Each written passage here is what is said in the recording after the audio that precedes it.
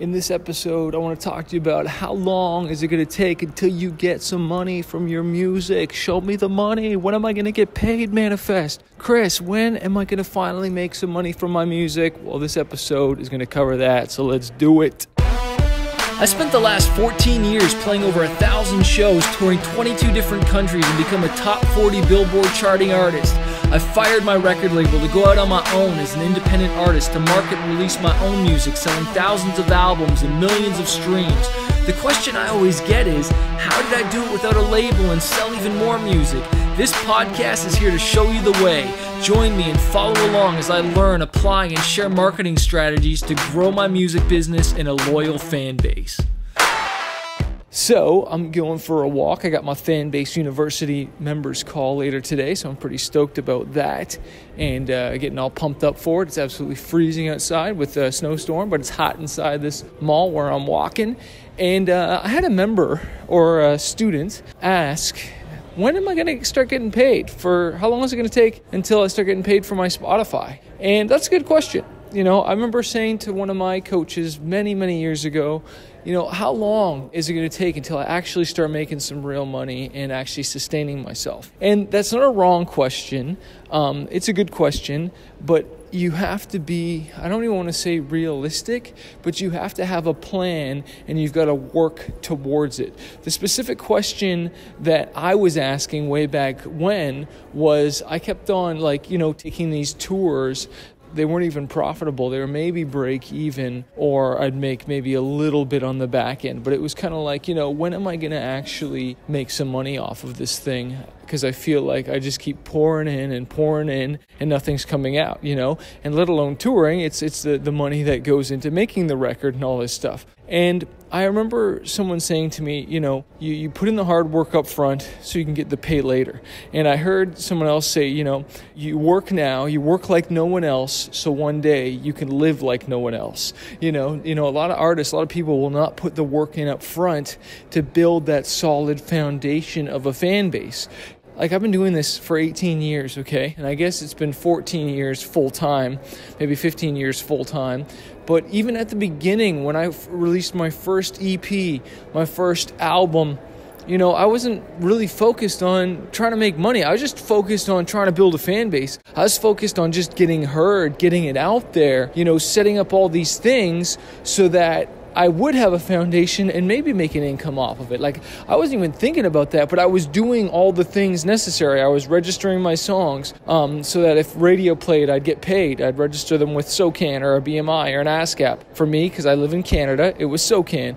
But I was setting up myself so at least if I did get played on the radio, I could get paid. And so that's step number one is it's like setting up all those things that you can get paid. Is your YouTube set up? Is your SoundCloud and eh, everything monetized and ready so that when you start putting money into Facebook ads or YouTube or you go on a crazy tour that you can even get paid? You know, and if you do go on tour, do play shows, have you set it up so that, you know, you can sell some merch and have some cool merch items and stuff so that you have the ability to get paid in every aspect possible. And sure, that takes time. That's called sitting down with a pot of coffee or pot of tea and putting in all that kind of boring hard work, but it's it's important because you guys are asking me like hey how long is it going to take to get paid well you know it depends how long you how quickly you set all these things up and do the do the hard work up front you know, um, if you're just releasing your first album, your first EP, it, it might take some time. It might take a year or two. It depends. You know, it depends how much marketing money you have to put and bring awareness to your project. And it's funny, we say, What's our marketing plan? It's really what's your awareness plan? What do you have in place to bring awareness for people to find out about your music? How quickly can you amplify that? Okay, if you're walking up to one person a day, it's going to take a long time. If you're boosting a post on Instagram to 10,000 people or Facebook ad or YouTube ad to tens of thousands of people, you're going to shorten that time of awareness. But then it's not just about awareness. Okay? Because sometimes it takes people up to seven times before they even really notice you. So you got to hit them again, and you got to hit them again. And that's why I repost some of my same posts because I realize there's always new followers. I realize just because I posted something on Instagram, someone could be in Starbucks or just going for a run and they quickly scan through my image, but they didn't even really look at it. And I've noticed now when I'm on my Instagram, when I look at something and it shows it to me once, it doesn't show it to me again. Okay, and a, a, little ninja trick there is to have two photos so that if you see their post once, then it'll show it again with the second photo that you have there. If you have a multi-photo post, okay, so that's one little strategy. But you got to remember, people are busy. They need to be. They need to see things multiple times okay? And so you got to realize you can't just throw it out there and assume everybody saw it, everybody heard it. I said this so many times. You're to get tired of your marketing message before everybody else will. You're to get tired of, you know, saying to people, "Oh, hear my stuff, buy my stuff, check it out, listen to this." And that's why you got to come up with different stories. That's why you need to get my music marketing promotions guide. Go to smartmusicbusiness.com slash free book and get yourself that because that will help you. Okay? Now, you got to keep it up. You got to keep the heat up. You got to keep turning it up. And one of the strategies I talk about in there is, is how to hit the billboard charts. And it's not so much about hitting the billboard charts as it is about bringing awareness of your project. Heck, let's just forget about the billboard charts for a second. If you do the four phase strategy that I talk about in there, doing the Kickstarter, doing the pre order, doing the launch, and then having the, the, the post launch, that you'll bring a lot of awareness and continuing to promote. Yes, you'll be absolutely exhausted, but I promise you to your music, and you will shorten that gap of you starting to make money because you're promoting it. And are you going to lose money? Maybe a bit of money on the front end? Yeah, possibly. If you do a Kickstarter, you're going to have 10 times better chance of being profitable from your music quicker because Kickstarter is just such an uh, incredible platform and tool and crowdfunding to, to make money because that's exactly what it's designed to do is to just bring in as much money. But you'll be like, oh, well, I don't have a fan base. Well, do you have friends? Do you have family? You'd be surprised at how many people will support you. You know, you don't need a massive amount of people to make a lot of money. I had a buddy who, you know, very small fan base and did his first Kickstarter, and his friends and family really got behind him and was able to get the record done. And so, you know, what you would want to do in a scenario like that is get the record done and get it done as well as possible or an EP. Okay, I would probably try and raise still as much money as you can, but do a do an EP so you don't have to do as many songs and make those songs freaking hot and that way you have tons, tons, tons more money to put into the marketing and bringing awareness to your music. But what most artists do is they say, oh, I have to do a whole freaking album of 10 songs, 12 songs. And they blow all their budget, they blow all their time, blow all their energy into making this thing. They're exhausted. Nobody's even really heard of them. And then they have no money left over to market it. That's really the number one problem I see with artists, man. And I was the same thing. You spent it all on making the record because you see value in that, but you don't see value in marketing it. And that's why artists fail.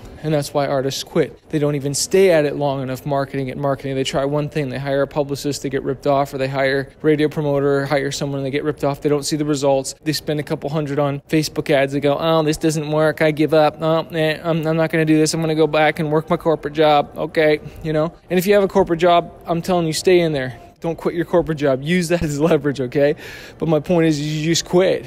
You know, it's not even that you quit and go back to your corporate job. You quit working on your dream and keep going to your corporate job and you don't touch your dream anymore. And that's what I'm trying to discourage you from doing is don't quit on your dream. Stay at this thing. It doesn't just manifest itself, you know, overnight.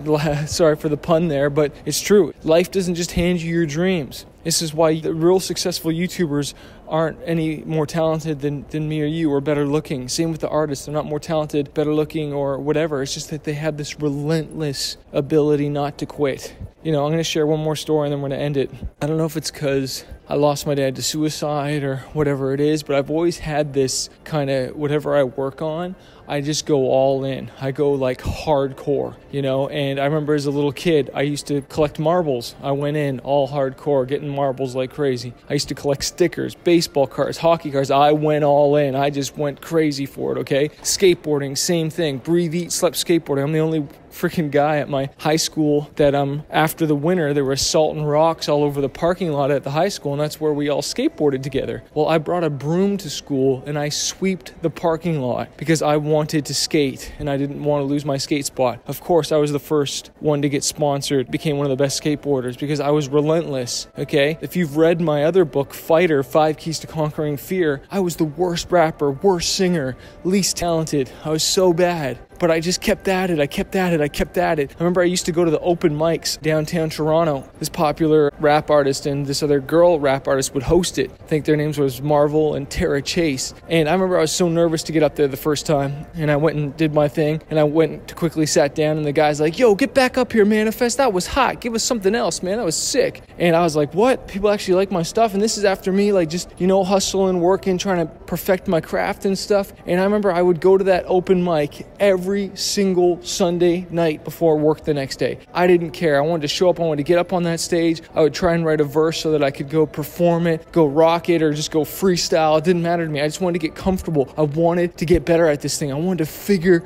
this thing out. And back then, I had no idea I would be where I am right now, touring 22 countries, you know, selling hundreds of thousands of albums, millions of singles, and, and now even coaching and helping you guys. But it happened because, not because I was just so talented and I was so gifted, it was because I just put the work in. And I just stayed at it and stayed at it. And now I've got the career. You know, I like to think that I have one of the most successful music careers in Toronto compared to a lot of artists. When you look at with the grand scheme of things, I'm in the top 1%. Heck, I'm in the top 1% of the world of artists. You know, I don't know what it is. It's a pretty low percentage, but let me tell you, the only reason it's a low percentage is because so many artists quit and they give up. Don't give up stay in the game. Keep bringing awareness. Get better. Get better in all areas. Okay? So I hope that inspired you, man. I'm really pumped up for this Fanbase University call later today. I'm going to be answering all their questions and just helping you guys, coaching you. And if you want access to me on that kind of a level, a one on one level, you need to go to fanbaseuniversity.com and sign up to the membership. It's only five bucks for the first month, and then I think it's 30 a month after that. And you get obviously the coaching with me twice a month plus all the courses. There's some pretty amazing training in there that will help you out. So, hey, hope that helps you out, and uh, I'll see you soon. Do not forget to like, comment, and subscribe. Thank you. Hey, thanks so much for listening. Make sure you hit that subscribe button and also leave a comment or a review and let me know how I've helped you or what other topics you want me to cover on this podcast. I always read them and it always inspires me to hear your story. And also, if you need more music marketing help or you just need more coaching or you need your questions answered in a deeper way, I have a coaching program called Fanbase University. Go to fanbaseuniversity.com to sign up because on the 12th 12th and 24th of every month, I answer all your questions, coaching my students, plus, you get access to exclusive video training on how to market your music and grow your fan base. Go to fanbaseuniversity.com and start your trial today, and I look forward to helping you grow your career. Cheers.